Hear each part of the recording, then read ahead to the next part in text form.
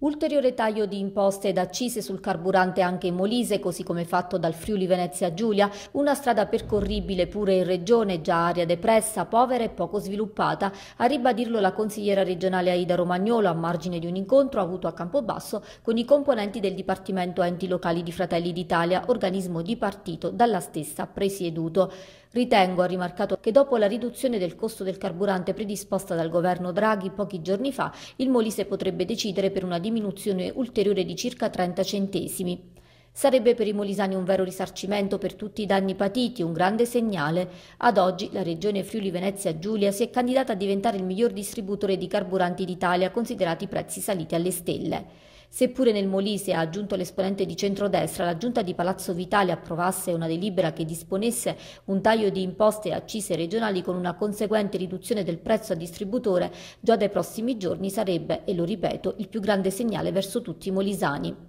Con una tale decisione il costo del carburante registrerebbe un meno 60 centesimi al litro, una misura tempestiva che permetterebbe di dare una risposta ai cittadini con un reale sostegno di massa. Bene quindi farebbe la Giunta regionale del Molise, ha concluso, ad abbassare le accise per aiutare concretamente le famiglie e tutte le realtà economiche del territorio.